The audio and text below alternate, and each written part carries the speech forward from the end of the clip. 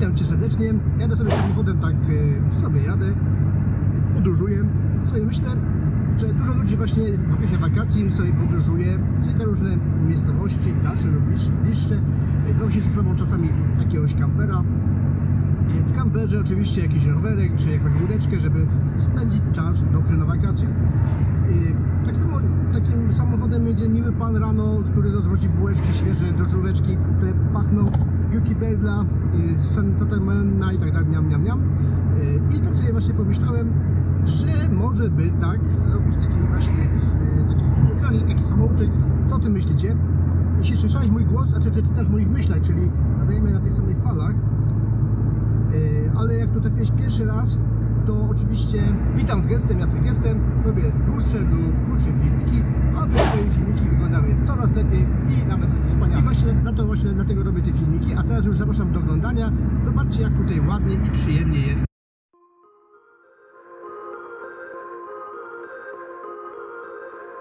E, Dobrze, jesteśmy już w e, naszym DaVinci Resolve, jestem e, w oknie Edit i zaczynamy naszą przygodę z podróżowaniem. Tą animację, animowaną ścieżkę, która będzie dążyła do celu. Ja przygotowałem sobie mapę, mapę pobrałem sobie y, z internetu, z Google Maps. Tu mamy Skandynawię i to, co jest naokoło.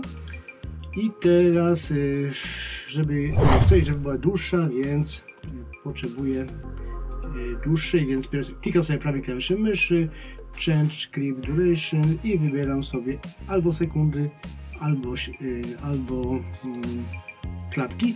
Ja wybieram klatki, no jakieś tam 280 klatek, pach.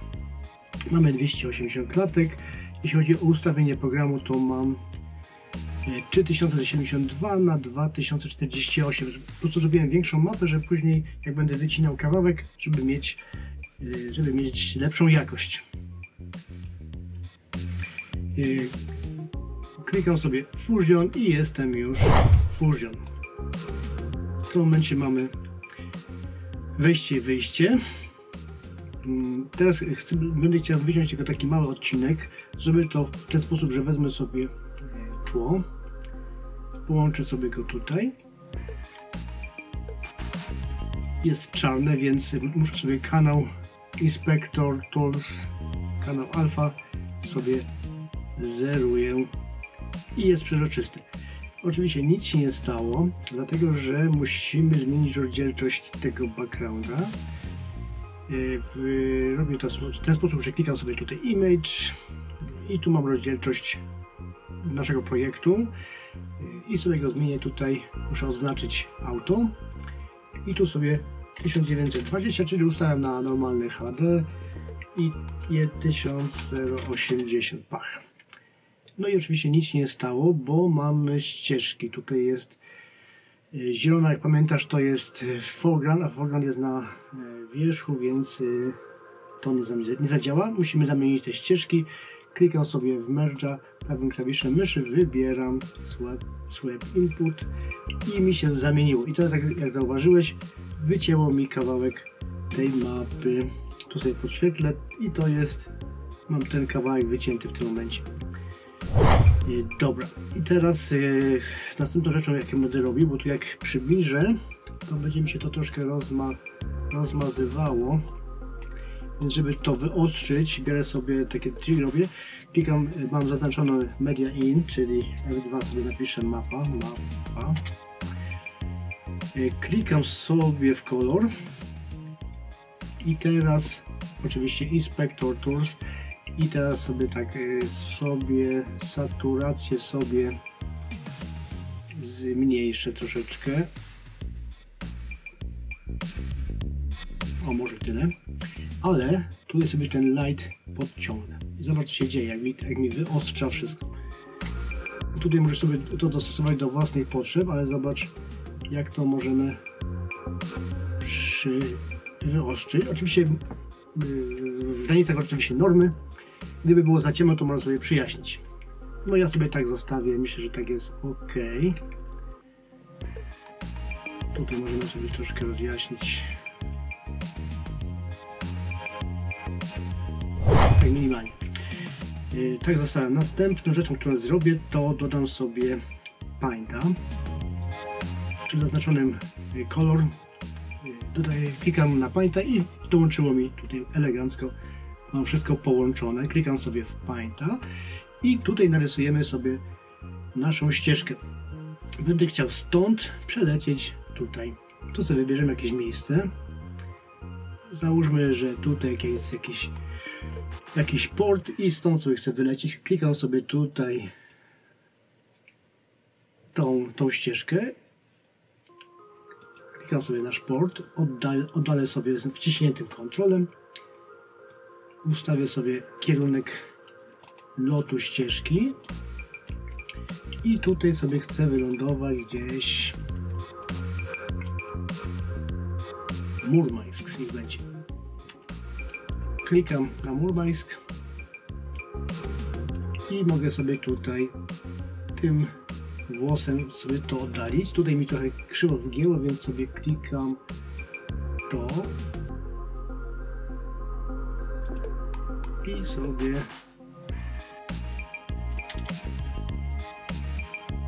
sobie to podepnę. I teraz wyszło mi taki ładny, ładny kolorek. I teraz chcę to, żeby wypełnić jakoś. Tu mam wypełnione takim białym, a ja chcę nie biały, ja chcę pomarańczowy. Pomarańczowy. Troszkę sobie go przyczerwienię, ok. I teraz y, grubość, grubość tego brasza, czyli tego, tej ścieżki tutaj sobie ustawiam. No i tu mogę sobie zwiększyć lub zmniejszyć. Ja sobie delikatnie zmniejszę. Y, Tutaj możemy rozmyć lub wzmocnić. Możemy zrobić to oczywiście idealnie twardym pędzlem, ale nie chcemy. Tak jest lepszy. I teraz chciałbym jeszcze, żeby ja tu sobie w ten sposób, czyli chwyciłem i rzuciłem, żeby będzie mi tu lepiej widać. Chcę sobie zrobić taki cień, żeby cień podążał e, razem ze ścieżką. Więc e, biorę ponownie nasze narzędzie, klikam tu na początku, mogę sobie powiększyć z kontrolem, pach, oddalić, y, ustawić sobie naszą ścieżkę pod troszkę mniejszym kątem, udaję się do punktu docelowego i klikam, wyginam jeszcze naszą ścieżkę, o tak, I kolor tła, y, kolor cienia jaki jest, oczywiście zgadłeś czarny, więc wybieram czarny, ok, ok i przeźroczystość robimy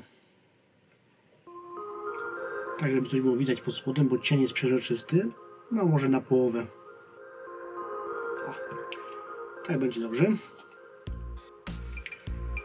I mamy prawie gotowe. A tu jeszcze zobacz, y, cień nam wychodzi na ścieżkę. To, do, y, ja to zrobiłem specjalnie odwrotnie, żeby pokazać, że można te ścieżki zmieniać.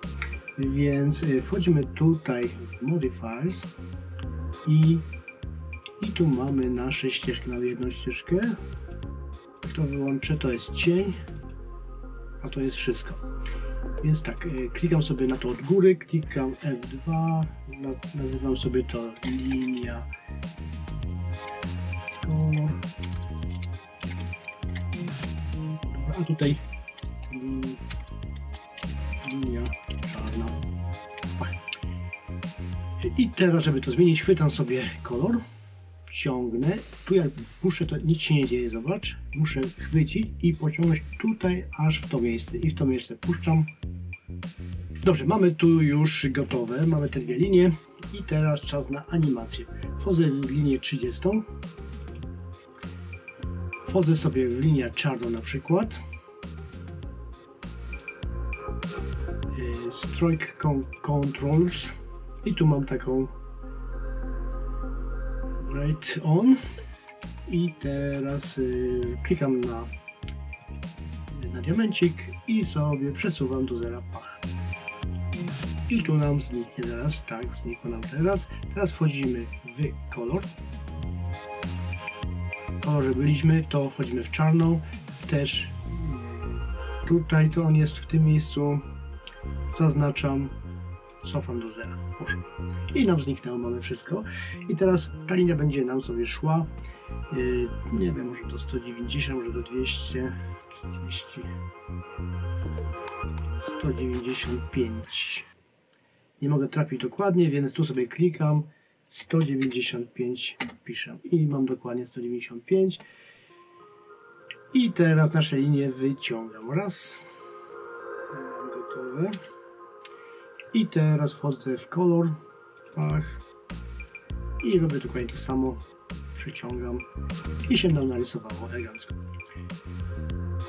I w sumie teraz już mamy naszą animację. Można powiedzieć, że jest już prawie koniec. Zobaczmy jak to wygląda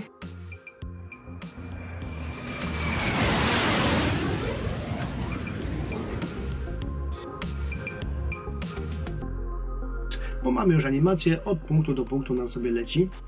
Ale musimy zrobić tak, musimy zrobić śledzenie kamer kamerą tej, tej kreski. Poza tym zrobimy to środowisko oczywiście 360, czyli 3D, przepraszam. Więc zapraszam do środowiska. Dobrze, żeby zrobić środowisko 3D, musimy zrobić fajną rzecz, czyli dołożyć coś z tej listwy. Najpierw musimy mieć image plane, nam połączyło, bo miałem to włączone. Następnie merge 3D i następnie render, żeby to wyrenderować. I sobie to podpinamy tutaj do zielonej, nie zapomnij, do zielonej, a tutaj no też do zielonej. I mamy nasze środowisko, znowu nam wróciło do całości. Ale jest ok wszystko. Teraz biorę sobie tego merge'a wrzucam sobie tutaj i zobacz, mam już naszą mapę w 360 mamy z jak, jak, jak przyjmuję i scroll myszki to przybliżam i oddalam a żeby kręcić to sobie przytrzymuję y, Alt i scroll myszki i sobie tak kręcę. Zresztą no fajnie, fajnie wygląda, tuśmy dolecieli, tuśmy wylecieli. Y, ale teraz musimy zrobić taką rzecz jak wygrać tą naszą mapę. Chcę, żeby była taka trochę jak przypominała kulę ziemską, czyli ją troszkę wygniemy, wygniemy, a żeby to zrobić potrzebuję takiego noda, który się nazywa, naciskam Ctrl y, Shift y, specja i będę 3D, pach, przy zaznaczonym image plane dodaję i już go tutaj mam. I teraz tak, będzie wyginać w osi X inspektor naciśnięty pędzel. Oś X. E, tutaj zrobimy 90 stopni, kąt 90 stopni i i tutaj wygniemy sobie tam się wygina, tutaj ustawię troszkę inny kąt, żeby było widać jak to się wygina wszystko, o i tu sobie lecimy, lecimy nie za dużo, nie za mało, gdzieś, gdzieś koło dwóch. O 2,5 wydaje mi się, że będzie dobrze dla mnie. I zobacz, tutaj są takie kanty. Musimy je wygładzić. Żeby to zrobić, wchodzę sobie w plane, e, controls i zobacz, tu mam tutaj subdivision mam e, taki, mam 10 e, zagięć. To działa w ten sposób, że jeśli zmniejszę, zobacz, robią takie zagięcia coraz bardziej widoczne. O. Mogę sobie nawet trójką zrobić i dlatego muszę pojechać w prawo, w moje prawo, żeby było jak najbardziej gładkie. W moim przypadku to wystarczy. Oczywiście Ty możesz sobie wziąć i sobie to lepiej wy, wyrobić. I to o to chodzi, że, że to się będzie troszkę tak przekręcało i kamera będzie sobie szła i śledziła naszą, e, naszą e, linię podróżniczą. I teraz e, tutaj dodamy jeszcze kamerę, żeby to sobie filmować wszystko ładnie, czyli klikam sobie w Merge'a, wybieram kamerę i mam kamerkę. Tu nam zniknął obraz w Media Out, dlatego że ta kamera jest wpakowana w środek. Musimy ją sobie chwycić za tą zieloną strzałkę, niebieską strzałkę i oddalić. Oddalić tyle, ile nam potrzeba. Może, może tyle na razie, zobaczymy. Może wystarczy. I dobrze, jak to już mamy. I teraz chciałbym, jak teraz ruszam kamerą, o, to nam to wszystko lata, nie? A ja bym chciał, żeby kamera śledziła punkt. Więc y, wchodzę sobie tutaj w transform i zaznaczam śledź punkt. I teraz zobacz, że będę kręcił kamerą we wszystkie strony, dalej mi ten punkt sobie śledzi. Jak już mam ten punkt, sobie to mogę oddalić i sobie ten punkt ustawię na naszą strzałę, na początek naszej podróży. I jeszcze chcę zrobić taki, żeby to było bardziej takie 3D, więc sobie jakby położę tą e, mapę pod kątem. Zrobię to w ten sposób, że po prostu kamerą albo, albo sobie tak zjadę, albo tak. Wezmę od dołu. I tu sobie muszę wyregulować z powrotem nasz punkt. O, zobacz. I to coraz fajnie wygląda, nie? O, tu sobie zjeżdżam w dół. Ta nasza mapa się coraz bardziej kładzie.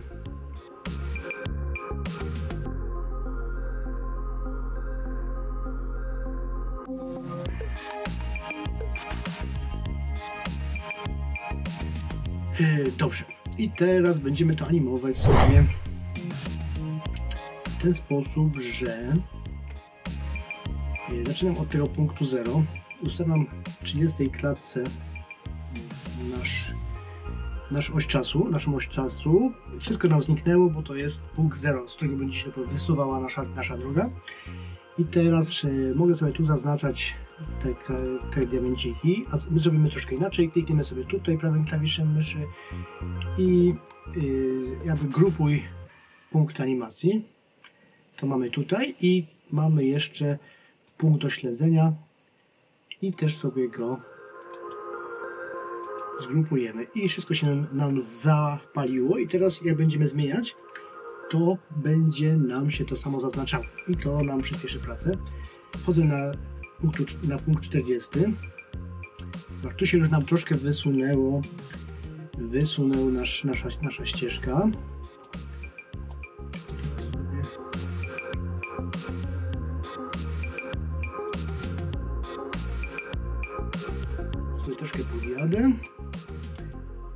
I kamerką może w tą stronę troszkę czy w tą. Zobacz, tu się nam zapaliło i tu się nam zapaliło. Punkty, w których kierunkach były, była animacja. Jadę sobie następny na 50. Dobrze, tu się nam wysunęło. Tutaj nasz target, ten punkt do śledzenia przesuniemy. O. I jeszcze mogę sobie oddalę kamerę troszkę, żeby nam było więcej widać. Będzie daleko. Będzie to, będzie to bardziej ciekawe. Wchodzę sobie na 60 punkt. Znowu nam się wy, przesunęła ta linia, więc sobie tutaj nasz punkt troszkę przesunę i może jeszcze troszkę oddalę. Dobra. Następnie w, przechodzę dalej, na przykład 70. Znowu nam się wysunęło i znowu lub ponownie przesuwam nasz punkcik jeszcze troszkę oddalę kamerę i troszkę ją dam w dół. Jeśli tutaj chwycę w, w tym miejscu, zapaliły nam się wszystkie lampki, wszystkie strzałki, wtedy mogę kamerę przesuwać, no na wszystkie strony. Tutaj damy jeszcze trochę na dół, żeby to wyglądało na, na 3D. Idziemy dalej. Mamy następny punkt kontrolny. Zobaczymy, gdzie jest nasz target. Zniknął, tu jest. I sobie jedziemy dalej.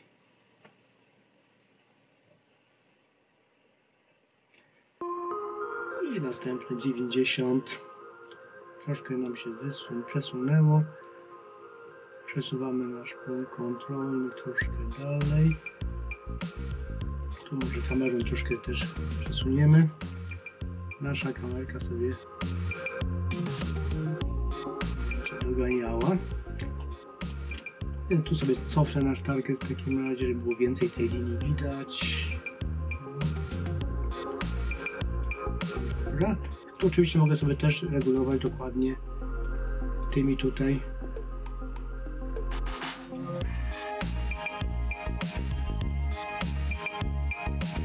Tak. I już mamy setkę.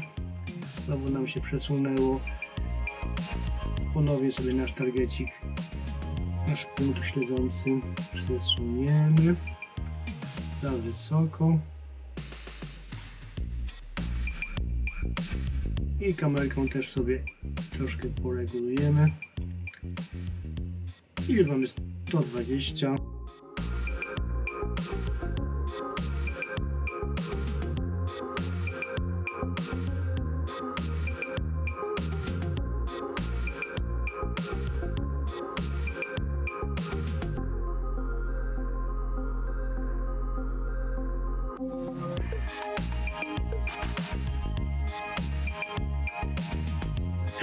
dojechaliśmy do mety. I teraz musimy to wszystko wygładzić. Zrobimy to w ten sposób, że wchodzimy sobie w plane.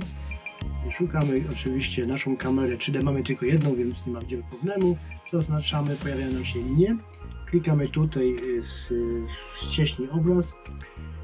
I tu możemy tak albo zaznaczyć sobie y, prawym klawiszem myszy i tak, lub Ctrl A, jak normalnie w edytorze tekstu, w Wordzie czy w czymś innym. I możemy sobie każdą tą linię wygładzać, ale my zrobimy automatem. Tutaj klikamy i nam to ładnie wygładziło. I tutaj jeszcze sobie zrobimy przy okazji jeszcze wygładzanie, co sobie oznaczę, linię czarną i linię kolor, bo tam zapomniałem to zrobić ale robię w ten sposób. Y, zobacz, że można to zrobić później, nie musi to być od razu. Oczywiście y, taki profesjonalny y, projekt będzie, będzie wymagał wielu poprawek, żeby to wyglądało super ekstra, ale my robimy jakby zasady działania, więc to będzie trochę szybciej. Ctrl, Ctrl A, zaznaczam, wygładzanie i nam wygładziło. I gotowe. I teraz możemy zobaczyć, jak to nam będzie wyglądało. Uwaga, startujemy.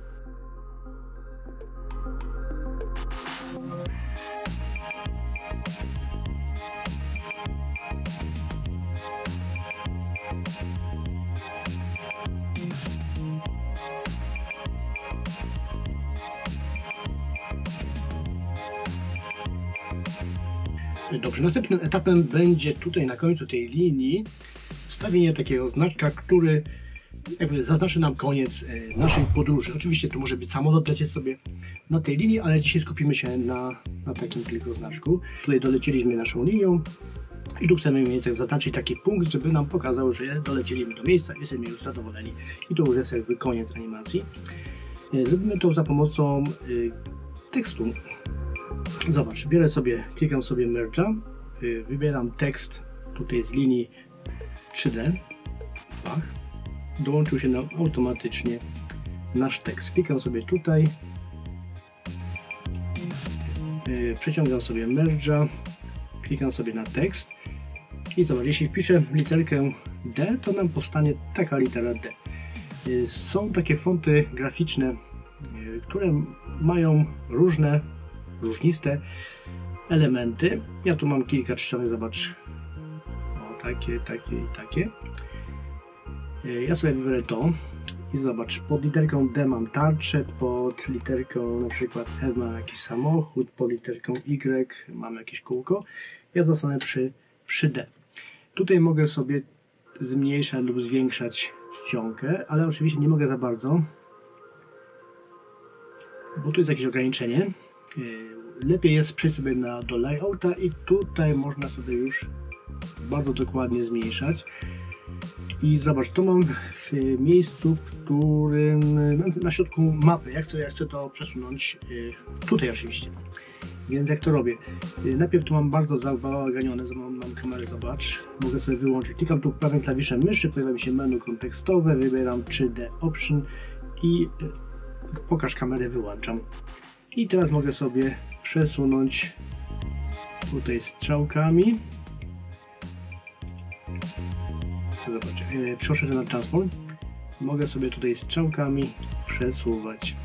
Jeszcze jest za duże, więc wchodzę sobie jeszcze raz w layout i sobie tutaj zmniejszam do wymiaru jaki mi będzie potrzebny. Załóżmy, że taki będzie mi potrzebny. Ustawiam go w miejscu dokładnie, w którym e, będę potrzebował.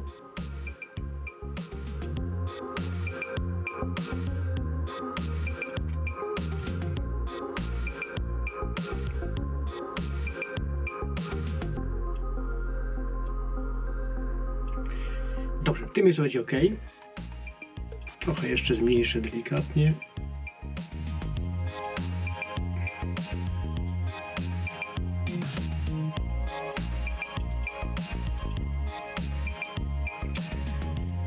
Dobrze, teraz jak już to mam, e, sobie zmienię kolor na jakiś, e, jakiś ładny, czerwony, czerwony brzydki, na pomarańczowy, troszkę go rozjaśnię delikatnie.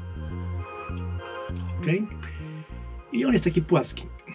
Teraz e, sobie tu przybliżę tą mapę, zobacz jak to wygląda. No, ona jest... Jeszcze możemy sobie to obniżyć troszeczkę. E, leży na mapie płaska. Ja chcę ją podnieść do góry, więc sobie wchodzę tutaj jeszcze raz w layout i sobie ją podnoszę. Tutaj w tą stronę ona się kładzie. Tu wygląda, tu wygląda jakby się podnosiła, ale tutaj widzimy na podglądzie, że ona się kładzie, więc muszę w drugą stronę. Tak.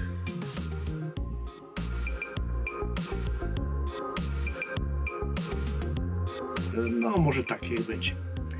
Niech będzie tak, troszkę sobie ją przekręcę w poziomie. Dobra. E, wchodzę teraz do tekstu i sobie troszkę to porozciągam.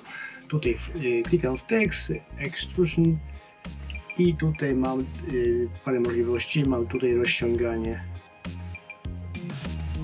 w ten sposób i tu mam wpychanie i rozciąganie ale zobacz, to jakby nie widać, jakiś taki gluć nam rozciągnął, nie wiadomo o co chodzi.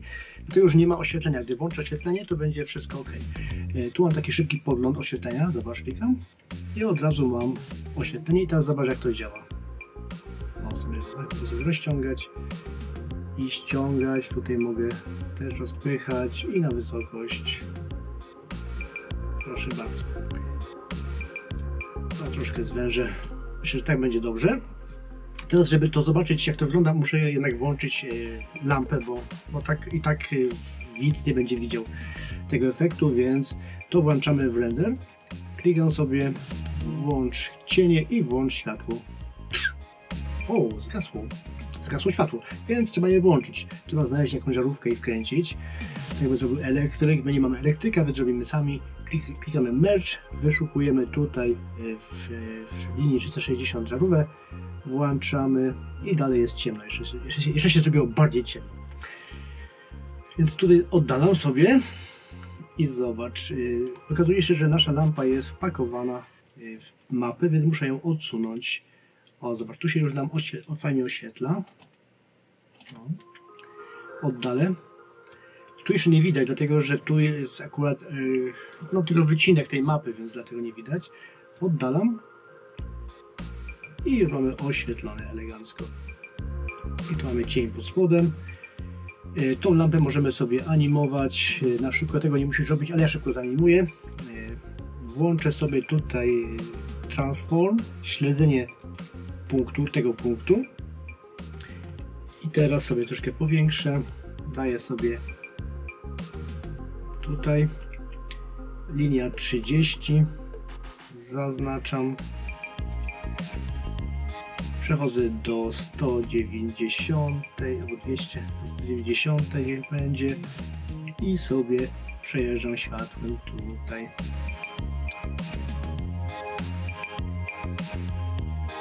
O. I to mamy zanimowane.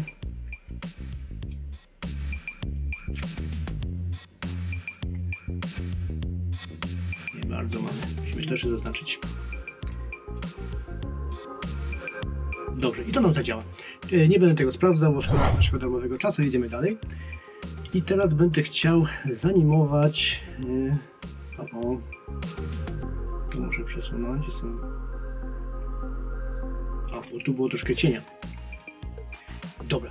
E, I teraz będę chciał zrobić, żeby nam ten ta tarcza spadła z góry. Ona jest troszkę krzywo, więc jeszcze raz muszę sobie wejść tutaj w tekst layout i sobie tutaj poprawić troszkę. Się? Dobra, jest pionowo. I teraz zrobimy sobie animację. W klatce 200 już kończy się nasza animacja, więc w tym momencie spadł, chcę, żeby nam spadł tutaj nasz, nasz element. Klikam sobie tutaj, wchodzę w Transform, zaznaczam prawym klawiszem myszy, daję animuj grupę i Rotation też animuj grupę. I tutaj sobie biorę do góry, łapię za to i sobie uciekam. E, dobra, teraz mamy to na górze i chcę, żeby nam to spadło, więc sobie klikam tutaj w 2000, przez 10 klatek, przez 10 klatek będzie spadało tak wolno. I sobie to biorę i sobie ściągam na dół. I tutaj mogę sobie dokładnie już doregulować. 1,3 0.13 Enter. Dlatego, to, e, dlatego sobie wpisałem to z klawiatury, żeby wiedzieć e, w którym momencie będzie mi się odbijało. I teraz co 5 klatek. Tutaj nam pokazuje ile klatek jest i sobie to wyciągam do góry. Najpierw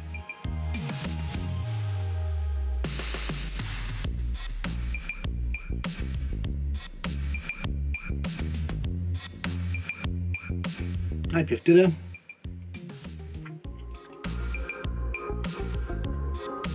daję 5 klatek dalej. W dół. Daję 5 klatek dalej. Do góry.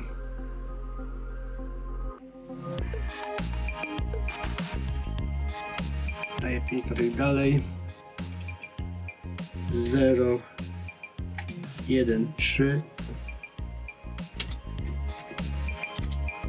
pach. Daję do góry jeszcze raz. Delikatnie. I tutaj 0, 1, 3 Enter. Oczywiście nie musisz robić tego tak jak ja, chodzi o to, żeby się odbijało.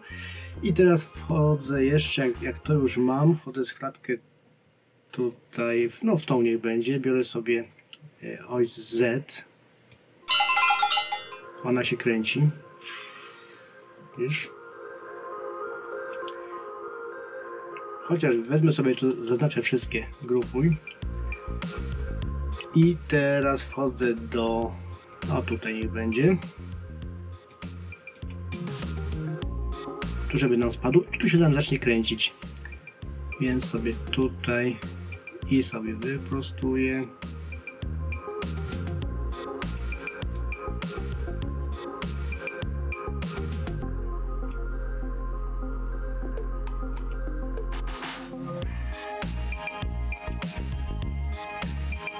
I sobie tutaj przekręcę kilka razy.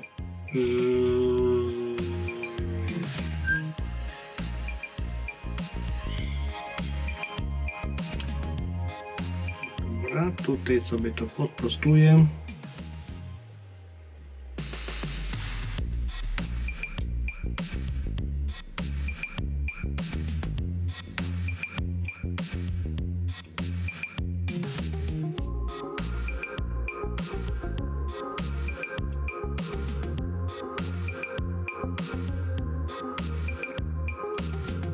Nam wylądowało. Teraz, aby to żeby to było bardziej takie mięsiste, takie delikatne przejście, oczywiście wchodzimy w e, Spline, wyszukujemy tekst 3D, mamy zaznaczony. Włączamy odchudzanie. Pach. Mamy trochę tych kresek. E, zaznaczamy myszką lub Ctrl A. Zaznaczyło nam się wszystko. Klikamy wygładź i mamy gotowe. E, zobaczmy jak nam to wyjdzie.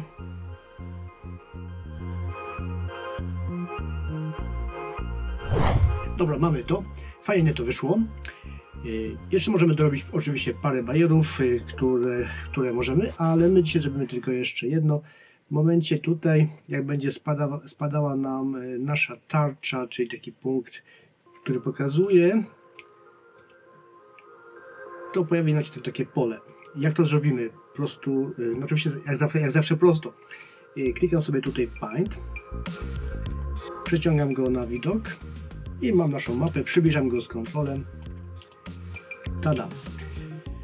I teraz tu sobie namaluję punkcik, czyli w tym miejscu, ale będę malował na tym widoku, bo tu mi nie zadziała. Biorę sobie tutaj punkcik i sobie go powiększam. Jest. Wchodzę w opacity i sobie widok y, zmniejszam na połowę. Przeźroczystość. Pach. I nam nie zadziałało. Dlaczego, dlaczego nam nie zadziałało? Bo jak wejdę sobie w Modifiers, zobacz, tu mam pełno tych różnych yy, Yy, oczywiście tu, tu są te, te pola, któreśmy mieli wcześniej, ale doszło nam nowe teraz i zobacz, jak nacisnę tutaj, to nam nie znikło, czyli to znikło nam, o. Czyli klikam sobie w tutaj, w tego, a może mogę sobie go, go nazwać nawet. Nazwę sobie go pole 1, o. Mam pole 1, klikam go, wchodzę w opacity i sobie go rozjaśniam, a gdzieś do połowy.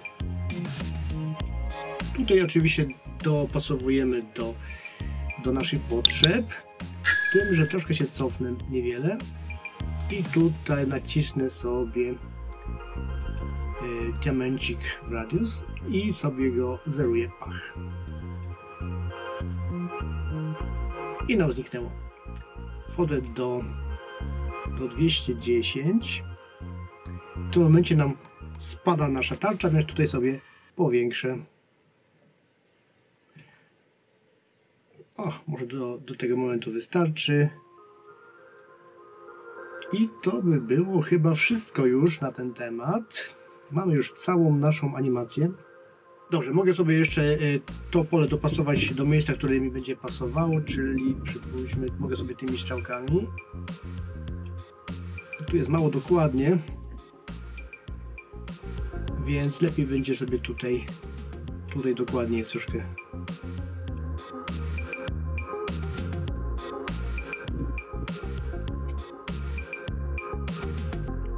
O, teraz wyszło prawie idealnie. No i dobra, teraz przechodzimy sobie do naszego lead i włączamy cały podgląd.